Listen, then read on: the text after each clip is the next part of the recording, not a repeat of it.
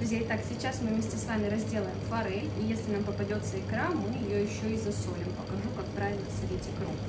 Так, у нас есть форель, на ней есть немного слизи. Водой она смывается плохо, хорошо утирается бумажным полотенцем, либо во время чистки чешуи также хорошо убирается чтобы она меньше скользила, поэтому протрем ее бумажным полотенцем. После того, как мы ее протерли, разрезаем ей брюшко.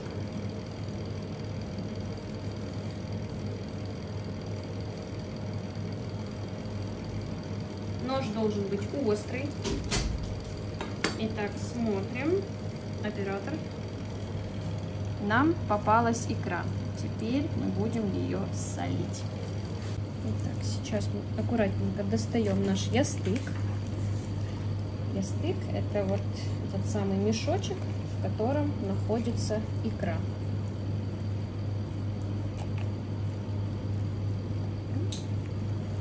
И также у нас есть второй ястык. Он находится чуть ниже, также аккуратненько забираем его и отправляем в мисочку. Сейчас мы его будем солить. Солки икры, которая у нас получилась из форельки, нам понадобится приготовить тузлук. Тузлук это рассол. Э, вода должна быть температуры примерно 50 градусов, ни в коем случае не кипяток, потому что иначе он вам так нормально сварит икру. Берем литр воды, 2 э, столовые ложки соли, не бойтесь, э, икра соленой не будет.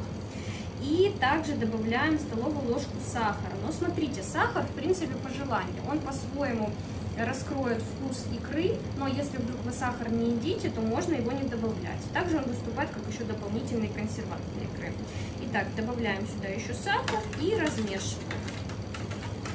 Размешиваем до полного растворения сахара и соли. Итак, теперь мы наливаем наш тузлук к икре. Он икру и просолит. И также, чтобы убрать пленочки, берем венчик и начинаем интенсивно мешать. Не бойтесь, икра не повредится. Начинаем прямо сильно вращать венчиком. Икра постепенно отделится от пленочек. Поначалу будет трудно идти, но потом она нормально зацепится за венчик. Также можно также делать э, вилкой. Я так делала, в принципе, тоже получилось. Ну, конечно, венчиком удобнее. И так мешаем, мешаем, мешаем, мешаем. Потихонечку, постепенно икра должна отделиться от венчика.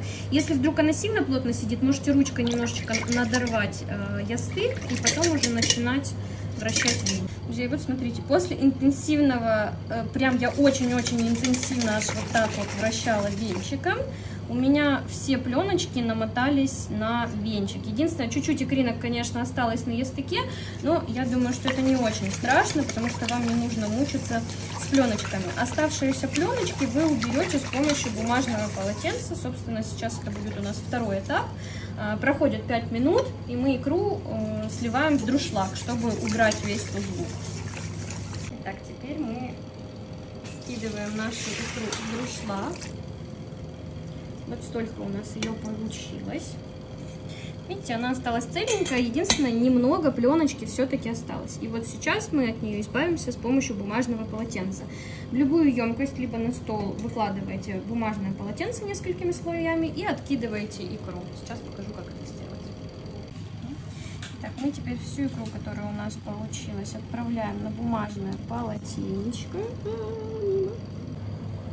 Теперь оставшуюся икру мы немножечко также покатаем и промочим бумажным полотенцем.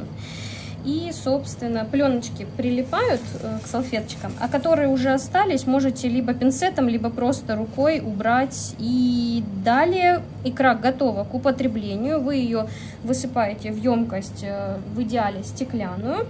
И если вы хотите ее похоронить, то добавьте сверху ложечку подсолнечного масла. Если же хранить вы ее не будете, а съедите за пару-тройку дней, то можете ничего не добавлять и уже наслаждаться что, друзья, мы вместе с вами засолили икру форели, и у нас получилось 190 грамм икры. Очень вкусной и малосольной. Всем приятного аппетита!